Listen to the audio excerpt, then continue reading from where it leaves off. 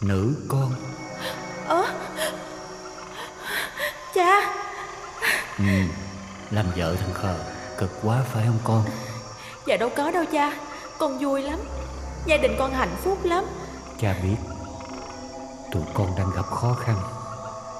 Con phải một mình gánh vác gia đình như vậy. Ừ. Nhưng mà không sao đâu Vợ chồng con sẽ vượt qua được mà. Cha muốn cho con một chút ít của cải. Cái cây mít ở ngoài vườn Cha dẫn con với thằng khờ ra chỗ đó, Con có nhớ không? Kế bên cây mít đó là một cái mép mương. Cha dìm hũ vàng ở dưới đó Để cho không ai để ý. Vậy á, Vợ chồng con phải ráng tìm ra cái hũ vàng đó nghe chưa?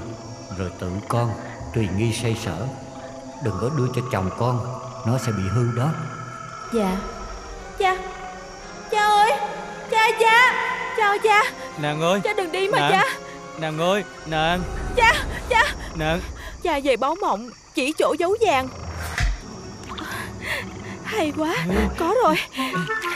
Chàng lên đi Cẩn thận đó. Chàng ngồi xuống đây